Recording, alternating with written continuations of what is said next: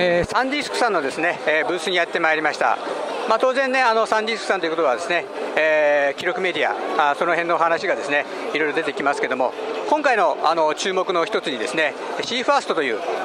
新しい、えー、記録メディア、新しいタイプのですね、えー、カードが出てきましたので、その辺のところのね、お話をしていただきたいと思います。シーファーストというメディアを採用したあキャノンのですね EOS1DX M2 という機種も出ましたので、まあ、その辺も含めてですねいろいろお話を聞いていただきたいと思います。じゃあサンディスクの、えー、畑野さんです。よろしくお願いいたします。はいよろしくお願いいたします。今回のこの C ファーストなんですけどもあの、まあ、転送速度が速いということになるとは思うんですけども実際どのぐらい速いものなんでしょうか？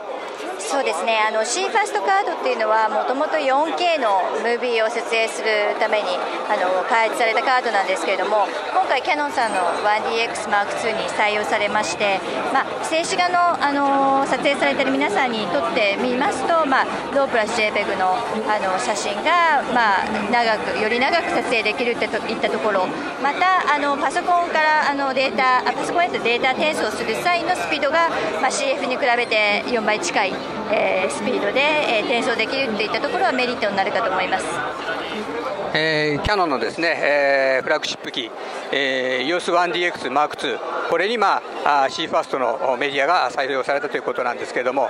えー、今これ、えー、その C ファーストなんですけれども容量的にはどこまでの容量があるんでしょうか？はい。今ですね C ファーストカードは 64GB と 128GB の2種類の容量があります。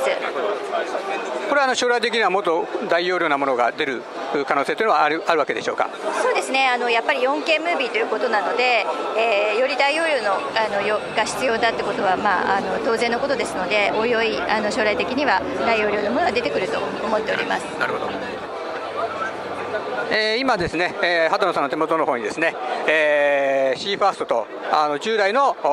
CF カードこの2種類をですね、えー、並べて持ってもらっております見た目的にはですね大きさがほぼ同じぐらいに見えるんですけどもこれあの2種類、えー、C ファーストと従来の CF カード。これは互換性はないんですよね？はい、えー、この2つのカードには互換性がないんですけれどもあの理由としましてはあのそもそもこの接点の部分ですね。CF カードはピン構造になっていました。C ファーストカードはピンレス構造になってます。ですので、えー、CF 対応のカメラに C ファーストカードを誘おうと思っても見た目のサイズは全く一緒だとしてもさせませんといった意味で互換性はないと、はい、いうことになります。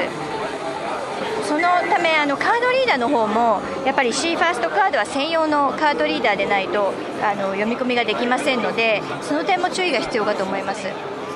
であの逆にあの C ファースト対応の EOS1DX M2 に従来の CF っていうのは使えるんでしょうか？はいあのここのカメラはですねダブルスロットなのでえ CF と C ファーストの両方が指すことができます。ですのでお客様のあの使い勝手によってあの例えば先ほど申し上げましたけども JPEG のあの連写をしばらくあのしたいということであれば CF でも十分できますし、はい、それは何を取るかっていうのにもよるかと思います。わかりました。はい。